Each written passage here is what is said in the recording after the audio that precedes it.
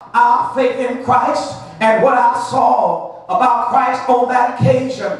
I'm not talking about a story that somebody made up and then passed it along as truth. As a matter of fact, Peter said, I saw it for myself. When you look back at our text, Peter says in verse number 16 that we have not followed cunningly devised fables right. when we made known unto you the power and coming of our Lord Jesus Christ, but we're eyewitnesses of his majesty. Peter said, for he received from God the Father honor and glory when there came such a voice to him from the excellent glory, saying that this is my beloved Son, in whom I am well pleased. And Peter says that this voice which came from heaven we heard when we were with him in the holy mount and we have also a most sure word of prophecy whereunto you do well that you take heed as unto a light that shineth in a dark place until the day dawn and the day star rise in your hearts, knowing this first, that no prophecy of scripture is of any private interpretation, for the prophecy came not in old time by the will of man, but holy men of God spake as they were moved by the Holy Ghost. What are you saying, Peter? Peter said, What I'm telling you, as far as my faith in Jesus, what I passed on to you uh, came from a revelation of God because I was there in the holy mountain. Uh, it was on that occasion that Matthew records uh, in Matthew chapter 17, just six days after Jesus had proclaimed the fact that he was going to build his church and that the gates of hell were not going to prevail against it. That Jesus took Peter, James, and John up into a high mountain apart and the Bible says began to be transfigured right before their.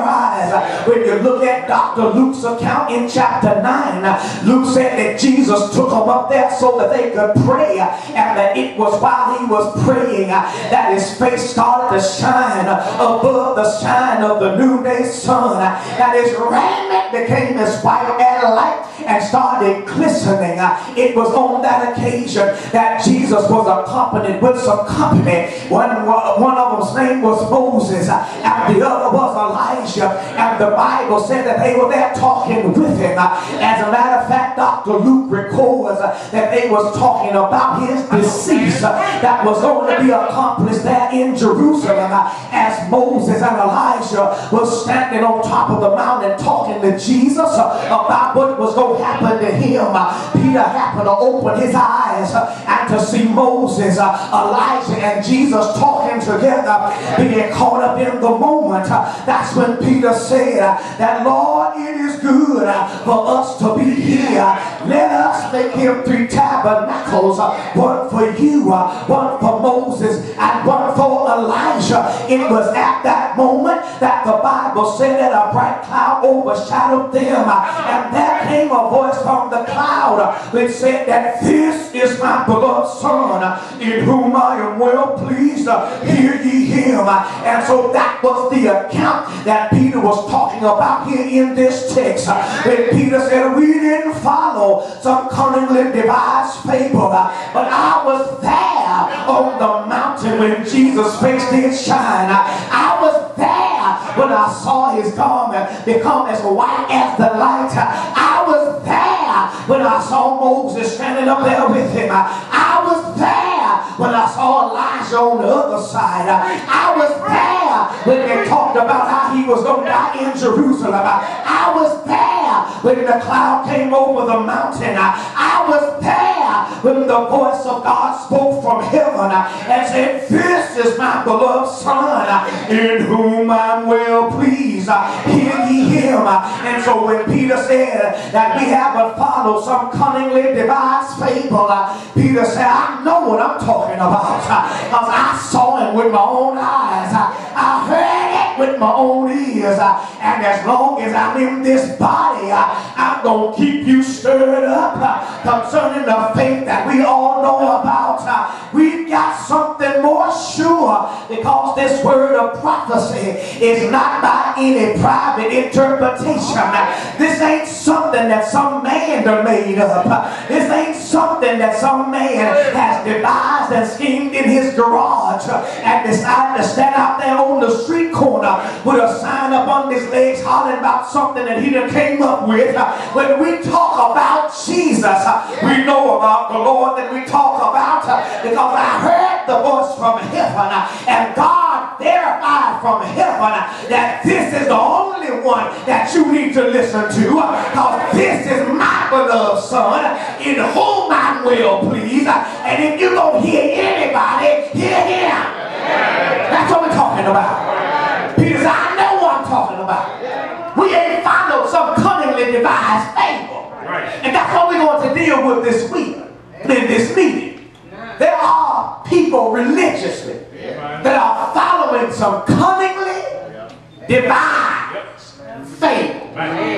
Something that a man invented. Something he craftily, slickly, slyly, wittingly, lyingly came up with, then passes it off as if it's true. Cunningly. Mean, he can tell that lie so good that it sounds like the truth. All right. And folk will fight you over it. They sure will. Miss trying to tell them they wrong if you want to. Dare not go against their pastor or bishop. Bishop said it must be true.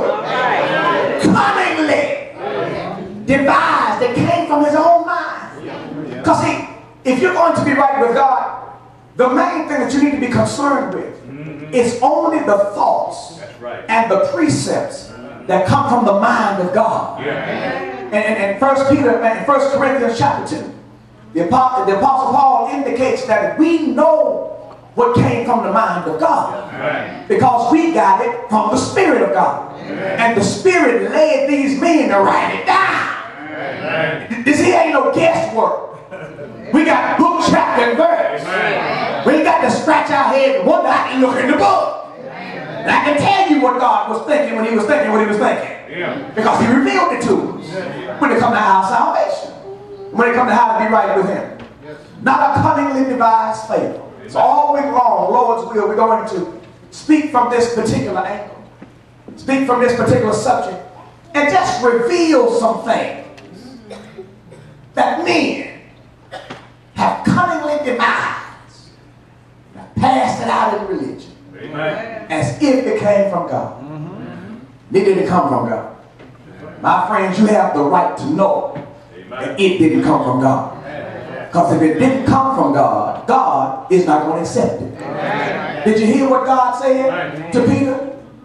This is my beloved son, in whom I well pleased. Hear ye him. God, God never had a plan for no tabernacle of Moses. We ain't got nothing against Moses. Great leader. Great man of God. Stood before God like a man talks with another man, the Bible said. But he ain't got no business with no tabernacle.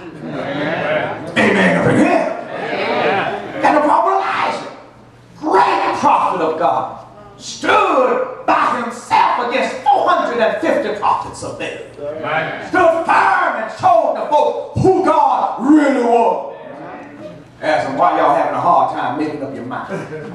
Yeah. God is God, serve him. Baal is God, serve. I'm going to show you who God is today. God called him, Elijah called him God. God showed him who he was. Right. Got a problem Elijah ain't got no business with no tabernacle. Amen. Up in here. See, the only thing we were trying to get you to see today is that Bishop ain't got no business with his own tabernacle. Amen. Bro, pastor ain't got no business with his own tabernacle. And see, that's why in that tabernacle, they do what they do because that's their tabernacle. But if you ever want to be right with God, come into the church that you can read about in the Bible. Amen. One that's not after a cunningly devised fable, you will become a member of the church of Christ. Amen.